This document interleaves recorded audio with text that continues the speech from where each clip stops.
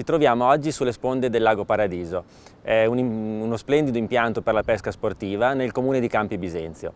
Eh, definirlo solo impianto per la pesca sportiva è un po' riduttivo, in quanto l'ambiente è veramente splendido e mm, possiamo definirlo veramente un parco, infatti eh, viene denominato proprio Parco eh, del Lago Paradiso. E su, lungo queste sponde infatti possono venire tranquillamente anche le famiglie a passare una giornata in tranquillità e soprattutto eh, a contatto con la natura. Come accennavo prima, oggi proveremo a insidiare le carpe di questo lago eh, utilizzando la tecnica della pesca a galla. La pesca a galla non è una pesca così semplice come può sembrare, eh, ci sono tante variabili da considerare, soprattutto in questa stagione eh, nella quale il pesce non è proprio completamente a galla. E oggi proveremo, partiremo sicuramente a pescarli, pescare i pesci intorno al metro, metro e mezzo. Consideriamo che in questo lago ci sono circa 4 metri di profondità. Potrebbero esserci mh, diverse difficoltà, mh, nel, non, non, da ultimo il fatto che potrebbero esserci anche dei disturbi di pesce piccolo. E in questo caso eh, proveremo con una pasturazione sia con i bigattini sfusi che eventualmente con delle palline di, di bigattini incollati.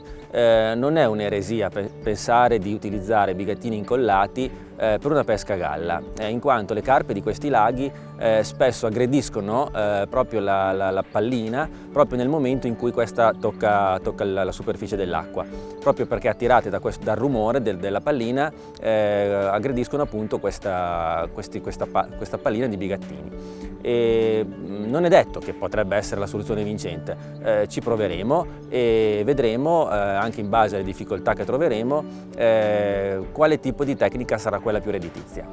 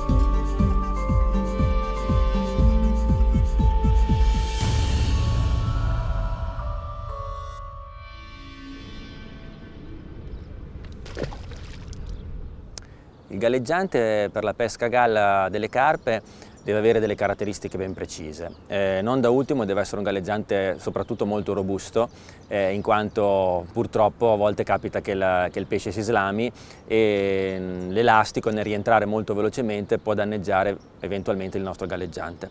Io ho portato due tipi di galleggiante appunto per, eh, per provare questo tipo di pesca.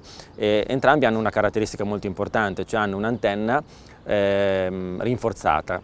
E cosa significa? Mm, questo modello, che è la Pro 99, ha un'antenna cava, ma all'interno della quale è stato inserito un eh, pezzettino di fibra di vetro, in modo da renderla ancora più robusta. Quest'altro invece è lo stesso, diciamo così, un galleggiante dalle caratteristiche anche queste estremamente robuste, però la robustezza è data soprattutto dal diametro dell'antenna. In questo caso abbiamo un'antenna eh, molto più eh, grande come diametro. E, ehm, come forma di galleggiante diciamo che mh, mm, non è così influente, infatti come potete vedere abbiamo sia dei galleggianti a goccia come in questo caso che dei galleggianti a carota come in quest'altro.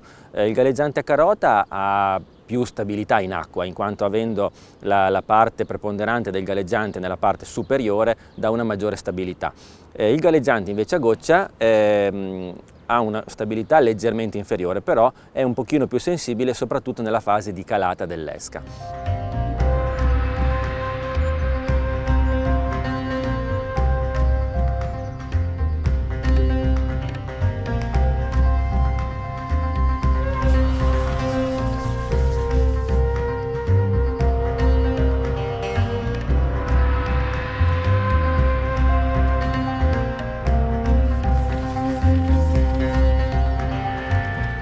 Vedete a volte capita anche questo, pescare a galla, ci si aspetta la carpa e si, cosa si prende? Un'alborella.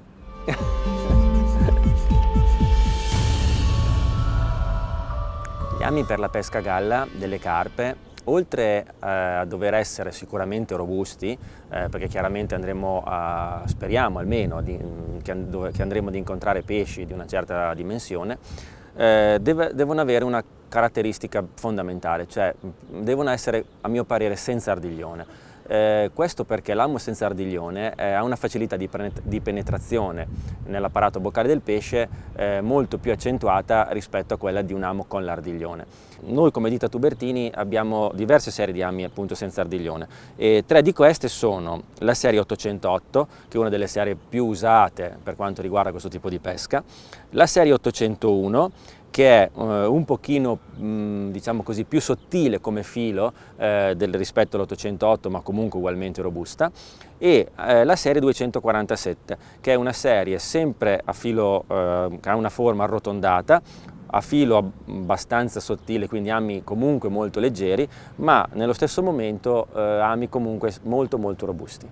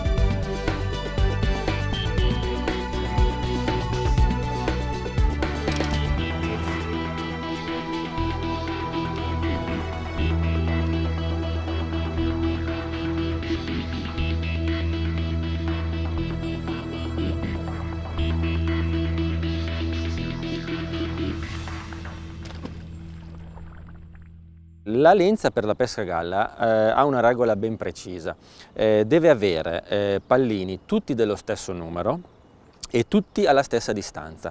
Eh, spiego meglio, un galleggiante da 0,10 eh, può montare tranquillamente dei pallini del numero 12 ehm, e come numero circa ne dovrebbe diciamo così, contenere 6-7 pallini la lenza deve essere al massimo eh, lunga circa 30-35 cm. E una lenza così costruita eh, ci serve perché eh, proprio nella fase di calata eh, segue esattamente la calata dell'esca e cala esattamente in orizzontale. Eh, in questo modo ci permette di eh, valutare eventualmente l'attacco dell'esca da parte del pesce in qualsiasi momento. Al contrario, se noi costruissimo una lenza eh, non eh, in questo modo, cioè sbilanciata o verso la base o verso eh, la parte del galleggiante, eh, avremmo una lenza che cala non in orizzontale, ma calerebbe eh, principalmente dalla parte dove ha il peso maggiore. In questo modo l'esca non sarebbe mai sulla stessa linea della lenza, ma sarebbe o troppo sopra o troppo sotto e in questo modo avremmo praticamente un punto morto eh, nel quale se il pesce attaccasse l'esca in quel momento noi non potremmo vedere la mangiata.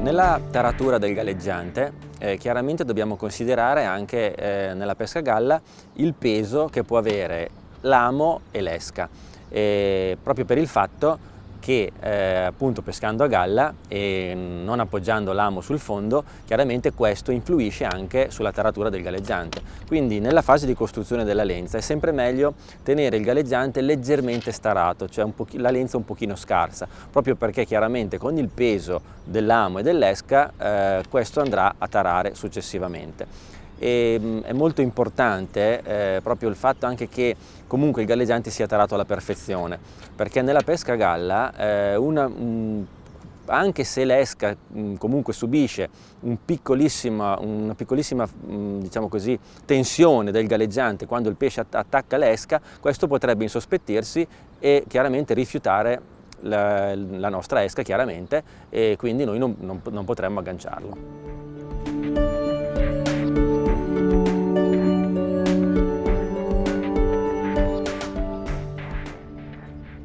Oggi per pescare, speriamo, carpe anche di una certa dimensione, eh, utilizzeremo eh, la canna che si chiama Concept Carp Light. È una canna appunto della famiglia Concept, eh, cioè una canna che ha una struttura in otto pezzi, canna estremamente bilanciata ma nello stesso tempo molto molto affidabile. Su questo tipo di canna possono essere montati diversi tipi di kit. Eh, oggi abbiamo scelto di utilizzare il kit Pro Fight, eh, cosa significa? È, è, un kit comunque mh, mm, abbastanza leggero, bilanciato, ma comunque mh, mm, molto molto affidabile. La particolarità di questo kit è il fatto appunto di avere eh, un foro praticato eh, alla metà del terzo elemento eh, dal quale fuoriesce l'elastico.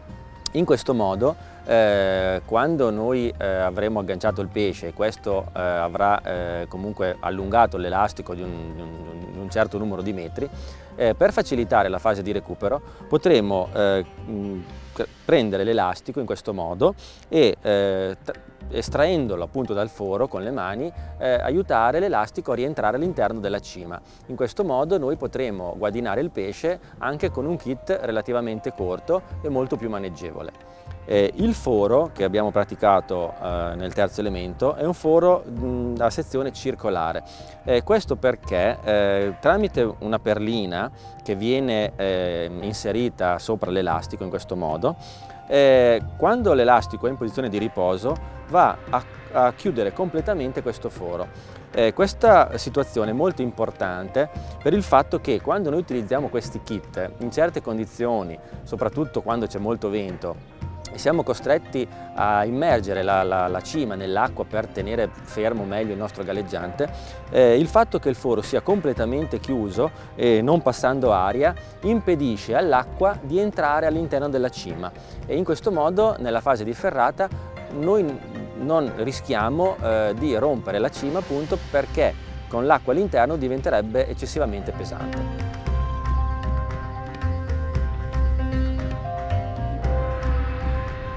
Questo punto, come vedete, per facilitare la fase di recupero possiamo utilizzare il nostro foro che abbiamo utilizzato a metà del terzo pezzo. In questo modo tiriamo l'elastico e accorciamo la parte che fuoriesce dalla cima.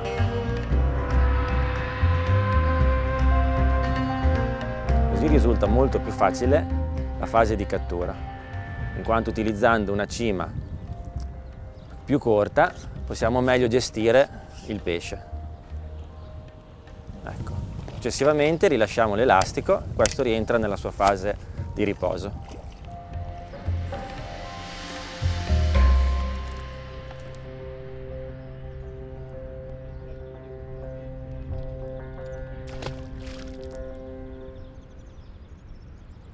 Ci siamo resi conto che i pesci mangiano molto in superficie, quindi preferisco accorciare un pochino la parte di lenza che ho tra la cima e il galleggiante in modo da essere più pronto sulla ferrata. Spesso non è così automatico il fatto, di,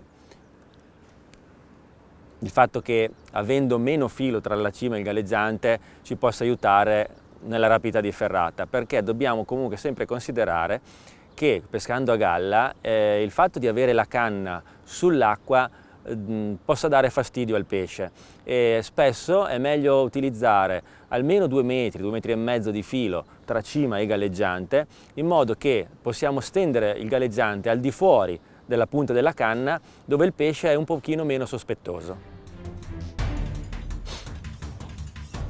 Spesso capita anche questo, cioè che nel, nel mentre uno si sta preparando per la fiondata non vede nemmeno la mangiata ma sente solo l'elastico uscire e questo è tipico quando si pesca a galla effettivamente. Cioè il, pesce, il pesce spesso si allama da solo.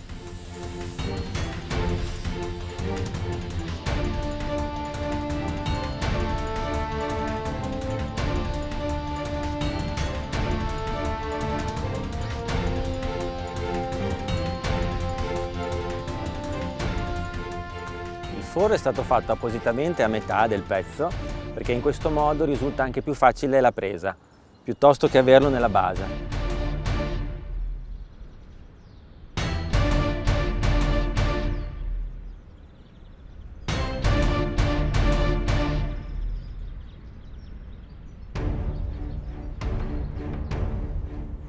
Spesso i combattimenti di queste carpe che si prendono a galla sono abbastanza difficoltosi proprio per il fatto che sono carpe comunque molto vitali.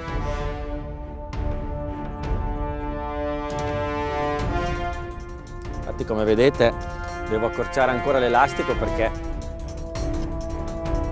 si fa quasi fatica a riuscire a portarla a guadino. Però utilizzando questo sistema, come vedete, non abbiamo problemi. Possiamo tranquillamente utilizzare sempre una cima abbastanza corta in modo da poter essere sempre padroni della situazione. Queste carpe hanno veramente una potenza incredibile.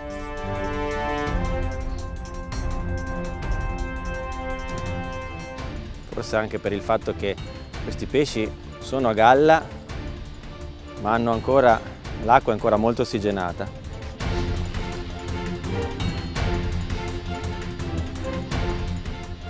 Sicuramente se non avessimo avuto questo sistema la cattura di questo pesce sarebbe stata molto più difficoltosa. Avremmo dovuto aggiungere sicuramente almeno due elementi e in questo modo non avremmo avuto la possibilità di gestire la, la cattura come abbiamo fatto.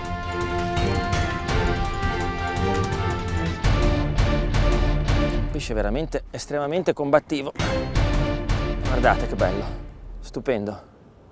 Una carpa di almeno 2 kg, 2 kg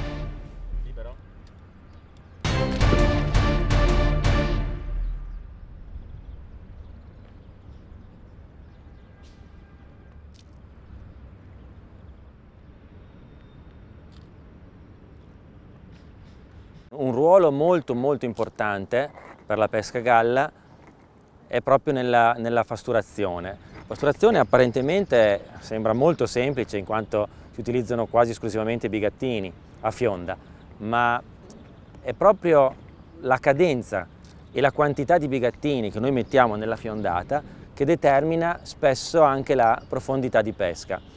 Mi spiego meglio, cioè la, la pasturazione deve essere una pasturazione continua, una pasturazione a pioggia, e però più, abbiamo, più frequenza abbiamo nella fiondata e più chiaramente tenderemo a far sollevare i pesci. Di contro, se noi fionderemo meno frequentemente, i pesci tenderanno ad abbassarsi. Ma eh, oltre alla frequenza eh, è molto importante anche la quantità dei bigattini che mettiamo in ogni fiondata. Noi se met mettendo pochi bigattini all'interno della fiondata, chiaramente il pesce tenderà a salire perché tro troverà meno esche che scendono verso il fondo.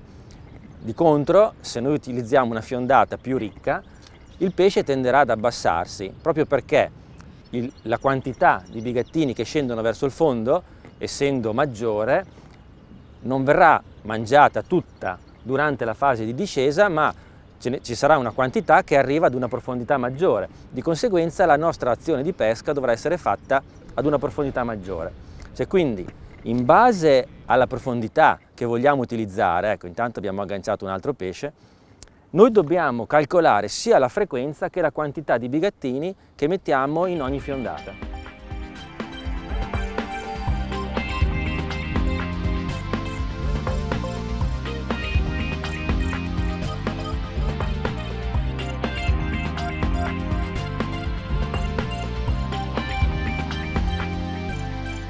Questo sembra un altro pesce che ci terrà del filo da torcere.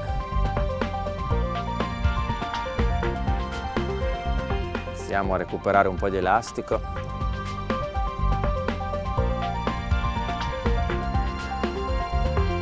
In questo caso devo allentare un pochino l'elastico perché il pesce ha ripreso forza e utilizzando sempre lo stesso sistema posso allentare l'elastico per concedere al pesce un pochino più di spazio per evitare che possa strapparmi il filo.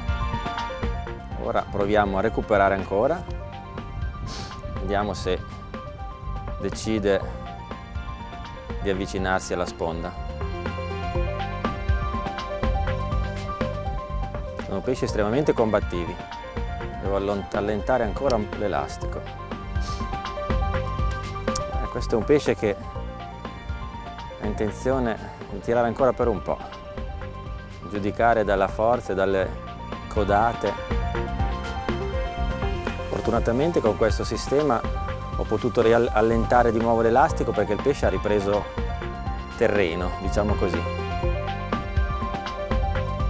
Altrimenti avrei rischiato la rottura del finale. Infatti non bisogna lasciarsi prendere troppo dalla fretta di voler accorciare l'elastico. L'elastico ideale per fare questo tipo di pesca è l'elastico cavo.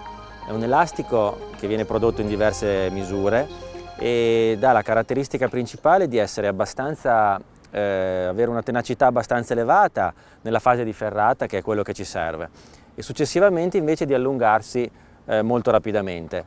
Ecco, ora che il pesce è praticamente stanco possiamo recuperare completamente l'elastico e portare il pesce a guadino. Ecco fatto. Questo pesce se non avessimo avuto questa, questo sistema di elastico e di recupero, sicuramente ci avrebbe impegnato almeno per altri 10 minuti. In questo modo invece siamo riusciti a portarlo a guadino in un tempo relativamente breve.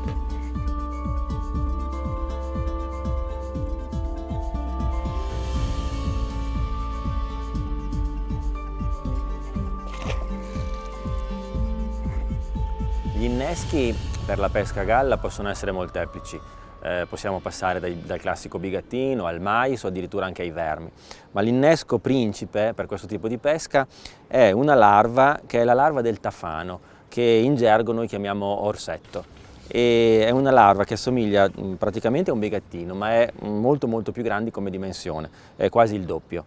Mm, l'innesco eh, deve, deve avere una particolarità cioè il, questa larva, così come eventualmente anche il bigattino, devono essere attaccati eh, circa metà, alla metà della larva, leggermente sotto pelle, in modo che questo non scoppi e soprattutto che non fuoriesca il liquido, perché nella fase mh, calante, diciamo così, dell'esca nell'acqua, in questo modo il peso dell'amo non influisce sulla meccanica della fase mh, calante e in questo modo il, la larva cala esattamente in orizzontale, come calano tutti i bigattini eh, quando noi li fiondiamo.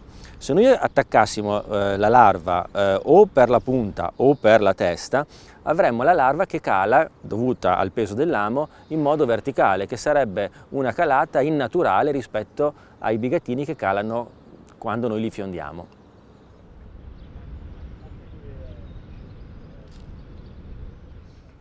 L'innesco fatto in questo modo ha già dato i suoi frutti. Praticamente esattamente nella fase di assestamento del galleggiante eh, si è allungato l'elastico senza quasi nemmeno vedere la mangiata. Questo vuol dire che abbiamo fatto le cose nel miglior modo possibile. Anche questo sembra un pesce di una certa dimensione. Ci darà del filo da torcere anche questo, ma con il sistema che utilizziamo non dovremmo avere problemi.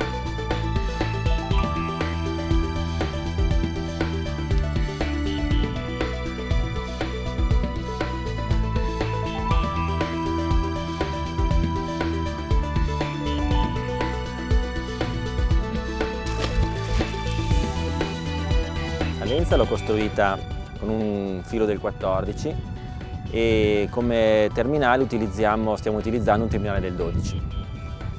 E io preferisco utilizzare anche nella, per questo tipo di pesca comunque sempre un terminale un pochino più sottile rispetto al diametro della lenza, anche perché se dovesse capitare che il, comunque il pesce po possa strappare, strapperebbe solo la parte terminale della lenza e quindi la lenza potremmo riutilizzarla. Mm, ci sono anche altre scuole di pensiero che preferiscono utilizzare una lenza mm, cioè, diretta si dice, cioè praticamente legando direttamente l'amo eh, sul filo della madre lenza. In questo modo sicuramente otteniamo una lenza più robusta, cioè più, più resistente perché mh, mm, abbiamo sicuramente meno nodi, però possiamo andare incontro all'eventualità che un pesce possa strapparci completamente tutta la lenza. Anche oggi è stata una bellissima giornata di pesca. Ringraziamo soprattutto i pesci del Lago Paradiso che ci hanno fatto divertire anche oggi, ma ringraziamo soprattutto il presidente della società sportiva Campi Bisenzio, nonché presidente del Parco Lago Paradiso, il signor Vladimiro, e, ma, e, ringraziamo soprattutto l'assessore allo sport del comune di Campi Bisenzio, il signor Roberto. Innanzitutto grazie a voi eh, e alla Tubertini per l'opportunità delle riprese di, di una sorta di gradimento di questo lago.